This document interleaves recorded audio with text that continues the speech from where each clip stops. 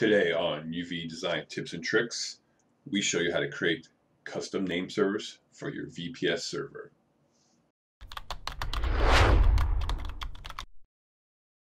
Alright, thanks for watching this tutorial. If this is your first time watching, welcome. If you've watched previous ones, welcome back. Just so everyone knows, on Mondays we release WordPress tutorials and on Wednesdays we release hosting tutorials. Uh, kind of help you out with hosting questions, wants and needs, VPS, shared hosting, a bunch of fun stuff and understanding how it works. Because a lot of people just don't know, which is fine. But that's why we're here. That's why UV Design Tips and Tricks works or is created. I think that sounds better. Yeah, is created. So, all right. And don't forget to uh, hit that subscribe button to stay on top of what we produce.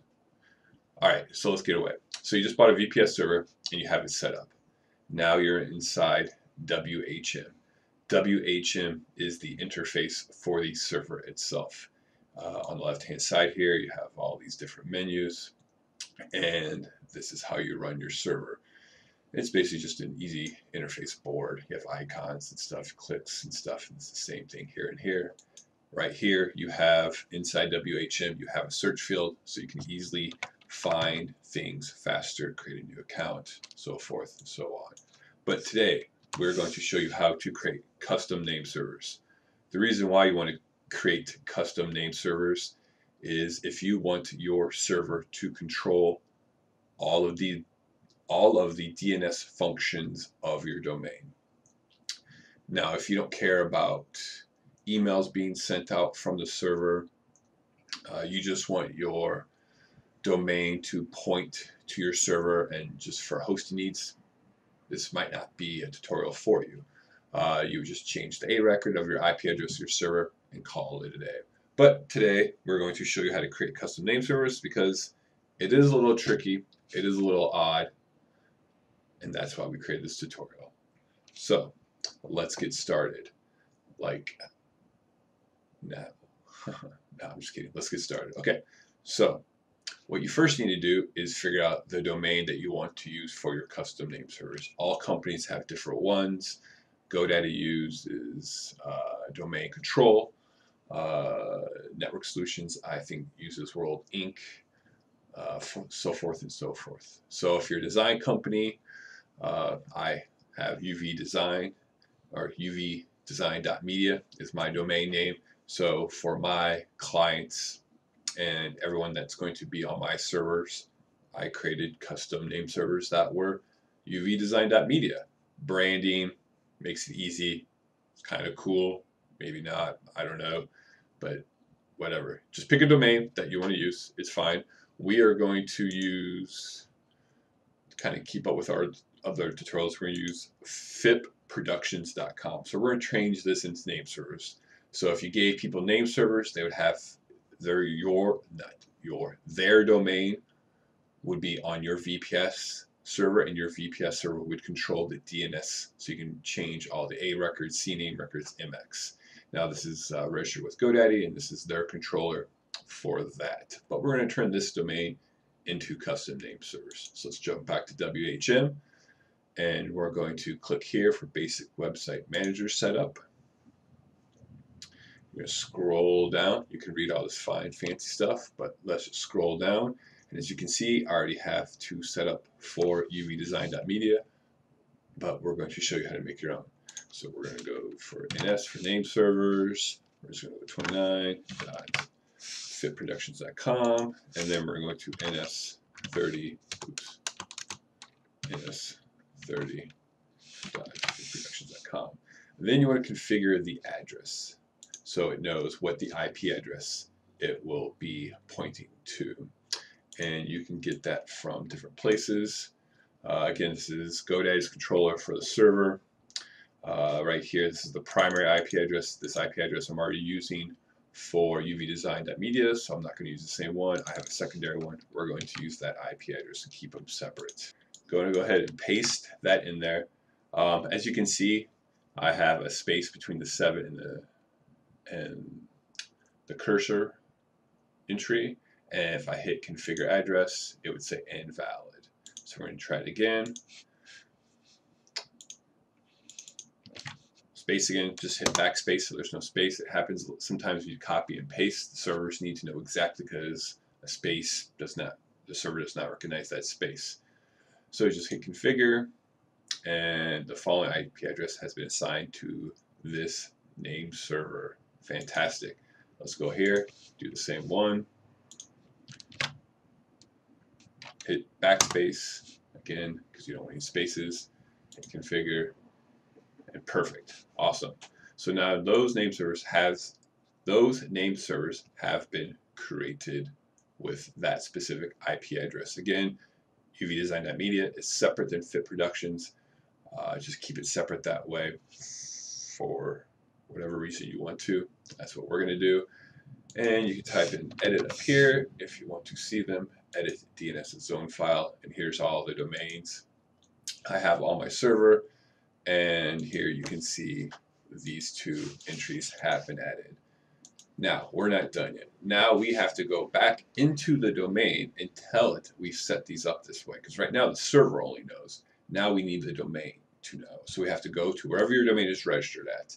I'm using GoDaddy. If you're using Network, Network Solutions, domain.com, wherever, they should all have this in there for you. Not all of them can do this, I'm going to assume. I'm a, you know, but uh, I haven't tried this with every website out there or every registrar company, but we're going to use GoDaddy because that's what I use. You're going to go down here to host names. Click on here.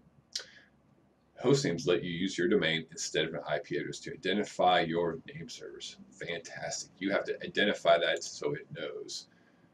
Host name NS29. 29, not 20. What's the IP address we're using? That is the IP address we're using. Click Save. Now, we're going to do NS30 same IP address. Click Save, and now it's adding. And now we wait.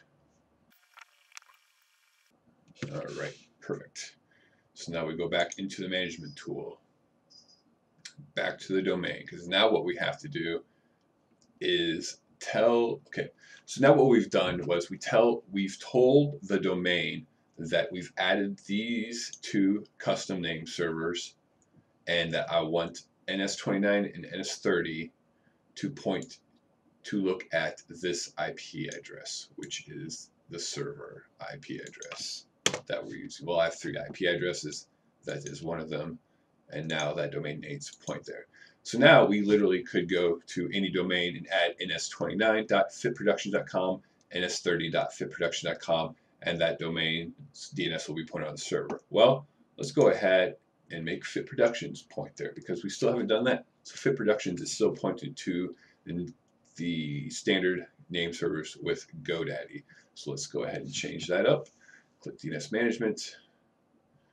We wait, and we wait, and we wait.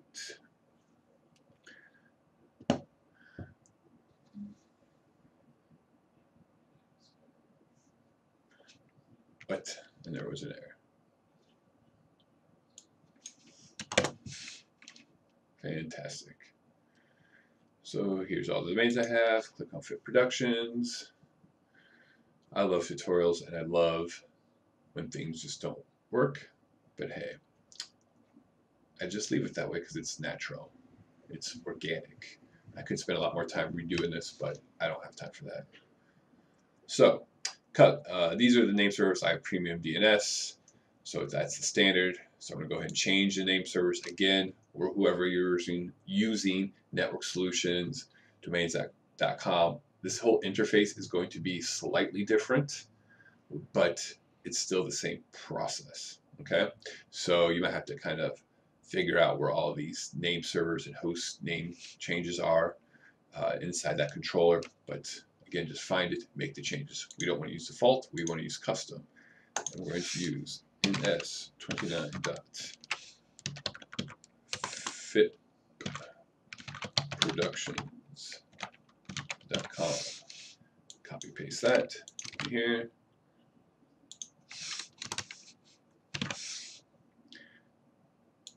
Click save. And now we wait because now it's just going through the validation process of that we're actually changing. You can see it right here. So what we're telling the domain now is we're telling the domain that we want the DNS to be controlled by these two name servers. It just happens that this is the domain we're using for the custom name servers.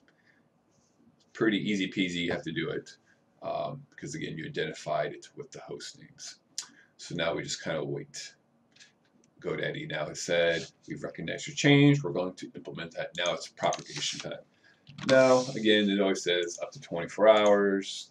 That's not really the case for the most part. Uh, usually it's a lot faster than that. So let's go to whatsmydns.net. I've talked about this before. It's a great way to see where our where our domains pointed to and what name servers we're using. Just a great reference tool for it. So if we go down here, and there is nothing being used because name servers are being changed. Click here, name servers, and you can already see it's started to uh, propagate. Again, it's not fully, it is what it is. Uh, now we just kind of wait for it. But you get the idea, it's going to change. It's, it's already working. And so that means eventually this record will show the IP address of the server that we're using. So it's going to show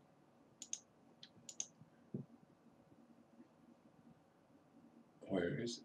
this IP address, the 166.62.6327. So then what we can do is now go inside here. We can create an account. FIP productions.com, username, fit productions, password generator. There's my password, who cares? It's not going to be the same password by the time this tutorial is over. You can check it out. Email.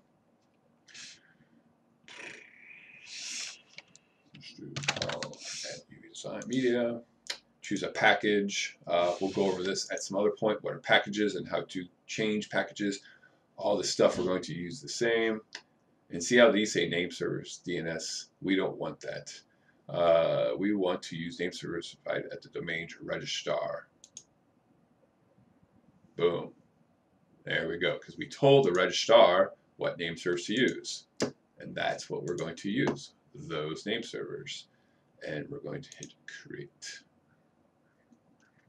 So again, now this will be working towards that when it is all said and done. And that's it. That's how you create custom name servers. Again, wait for propagation. It's going to be set up here shortly. And that's it. All right. So if you have any questions about it, leave a comment below. If you found this tutorial educational and it served its purpose, go ahead hit the like button, share it with your friends and family, again, because I know they want to see things like this. Just kidding, no one really cares besides you. It's fine. Uh, and also hit the subscribe button. Again, Mondays we release WordPress tutorials. On Wednesdays, hosting, VPS, basically anything to do with websites and how they actually work with domains, hosting, all that other fun stuff. We know it's crazy. So I'll do it for us today. Take it easy. See you later.